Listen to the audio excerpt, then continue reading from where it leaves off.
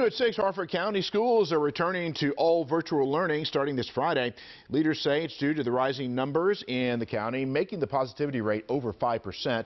The school district says once it drops below 5% for one week, it will discuss going back to hybrid status.